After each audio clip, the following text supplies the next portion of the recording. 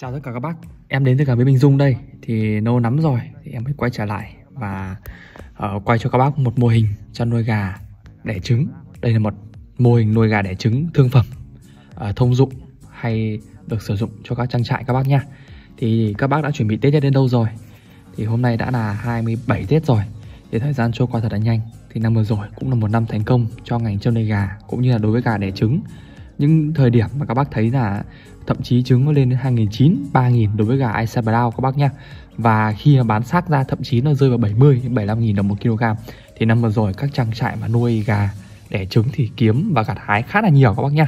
Thì đây là một cái mô hình tuy là không mới nhưng mà đây là một mô hình điển hình các bác nhá. Dành cho các bác nào mà ở gần khu công nghiệp hoặc là những khu nào mà đông dân cư có thể nuôi gà đẻ trứng này thì lúc nào cũng dễ sẵn đây như trang trại này người ta vứt thuốc ờ, lung tung phèn ra ngoài này thì các bác lên bỏ thuốc ở những nơi uh, quy định các bác nhá. Thì đây trang trại người ta đang sử dụng là ờ, uh, canxi vít H này hebaton này. Thậm chí là có cả thấy có đây có cả F200 này và SNL này. Thì trang trại này dùng khá là nhiều thuốc của công ty uh, túi xanh này. Nhưng mà tuy nhiên thì các bác nhớ là sau khi sử dụng thì nên bỏ lại các cái vỏ thuốc ở những cái nơi uh, như là sọt rác và những nơi quy định các bác nhá và đây là một cái mô hình tuy là không mới nhưng mà đây là một cái mô hình ờ, khá là ổn định cho các bác mà gần khu công nghiệp. Cũng như là năm vừa rồi các bác thấy là các bác chăn nuôi gà ờ, gặt hái khá là nhiều thành công. Đối với đàn này ở cái tỷ lệ đẻ hiện tại bây giờ đang đạt 90% tuy nhiên là đây là chuẩn bị người ta bán thải các bác nha. Và đàn này hiện tại đã đẻ được khoảng độ 16 tháng rồi.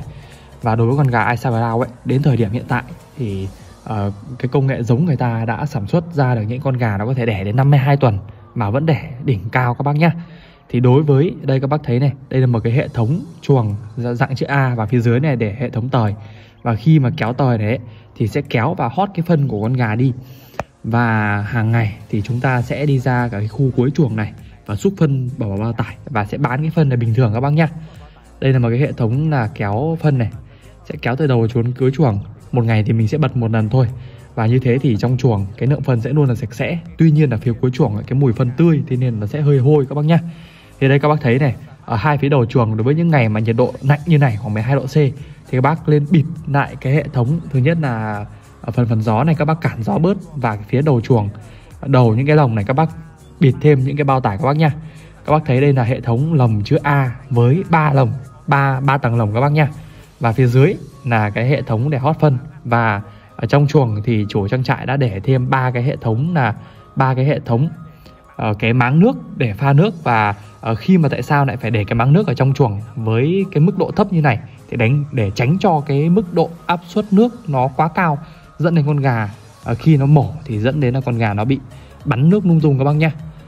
Và đây các bác thấy này đây là gà được hơn một năm rồi một năm rưỡi rồi thế nên là gà rất là sơ và xác nha nhưng tuy nhiên thời điểm hiện tại giá gà xác đang khá là cao nó rơi khoảng hơn 60 các bác nha à, chính vì vậy khi mà à, sản xuất ra một con gà này thì năm vừa rồi các bác nào mà các bác biết nuôi gà đẻ à, trứng này Avesa Brown này thậm chí có những lúc nó lên đến 2.900 3.000 một quả mà trong đó chi phí để sản xuất ra một quả thì tiền cám hết khoảng độ 1.600 tiền thuốc bổ hết 50 đồng tiền uh, điện 50 đồng tiền uh, nhân công hết 50 đồng và tỷ lệ đẻ khoảng 93 phần trăm.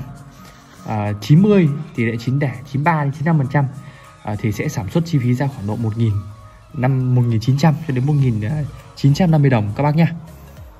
Thì đây các bác thấy này đây là chủ trang trại người ta vừa thu trứng xong và hàng ngày mình sẽ đi thu, thu trứng là vào buổi chiều và sẽ cho ăn. Định kỳ vào buổi sáng buổi chiều các bác nhá ngày ăn hai bữa. Thì ở dãy giữa này sẽ để cái hệ thống bóng điện đây. Thì đối với chi phí sản xuất một cái ờ, chuồng lồng với một vạn con này thì sẽ tốn khoảng từ 500 đến 600 triệu riêng tiền đồng các bác nha còn tiền chi phí mặt bằng để xây dựng một cái trại như này thì sẽ hết khoảng hơn một tỷ các bác nha để để cho các bác có thể biết được cái chi phí.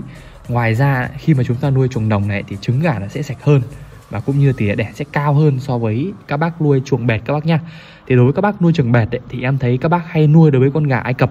Tại vì nuôi con gà ai cập ấy, thì trứng nó khá là giống với trứng gà ta. Hay là khi mà nuôi dưới chuồng bẹt thì sẽ bán được, thậm chí là trứng. Người ta còn nầm tưởng đến trứng gà ta các bác ạ. Đây này thì hàng ngày thì chủ trang trại sẽ đi thu gom trứng và sẽ định kỳ 4 ngày thì sẽ có một xe trứng đến và thu gom. Đối với thời điểm hiện tại, lúc giáp Tết, cận Tết như này, thì trứng gà đỏ thì sẽ bị chậm bán hơn so với những cái đàn gà Ai Cập các bác nha những đàn gà Ai Cập hiện tại thì vẫn bán được 2.200 đồng một quả nhưng tuy nhiên đối với gà gà đỏ thì bây giờ thậm chí là chỉ hòa và lỗ vốn thôi là chỉ bán được khoảng độ 1.950 đồng các bác nhá. Thì đối với uh, nhiều bác có hỏi là lên nuôi gà đỏ hay là gà trắng hơn thì theo em ấy thì các bác sẽ phụ thuộc vào cái khu vực các bác đang sống. Nếu các bác khu các vực các bác đang sống mà có nhiều khu công nghiệp thì các bác có thể nuôi con gà đỏ này. Tại vì sao? Tại vì thứ nhất là nó đẻ cao hơn nó đẻ khoảng độ 90 cho đến 97 phần trăm thậm chí có những đàn đẻ 98 99 phần trăm. Và ngoài ra là nó đẻ bền hơn, thậm chí là đẻ một năm rưỡi vẫn thoải mái là 90 phần trăm, như đàn này vẫn đẻ 90 phần trăm các bác ạ. Và đối với con gà trắng ấy, thì con gà ai cập ấy, thì nó sẽ trứng nó tùy lúc nha. Ngày xưa thì trứng nó cao hơn, nhưng tuy nhiên có một số thời điểm trứng nó còn rẻ hơn các bác nha. Nó sẽ phụ thuộc vào thị yếu của người tiêu dùng người tiêu dùng. Các bạn thì cảm ơn tất cả các bác đã xem clip của em. Thì em à, chúc các bác có một à, năm mới mạnh khỏe. Hôm nay cũng là 27 Tết rồi để chúc các bác một năm mới mạnh khỏe năm tới năm con mèo. Thì chúc các bác à, năm tới về lĩnh vực chăn nuôi đặc biệt là ngành chăn nuôi gà thì sẽ gặp gặt hái được nhiều thành công và sẽ thu được nhiều lợi nhuận các bác nha. Thì xin cảm ơn tất cả các bác trong một năm qua đã luôn cùng hành cùng cảm biến Bình Dung cũng như là đã theo dõi kênh của em. Thì em cảm ơn tất cả các bác và chúc các bác một năm mới mạnh khỏe.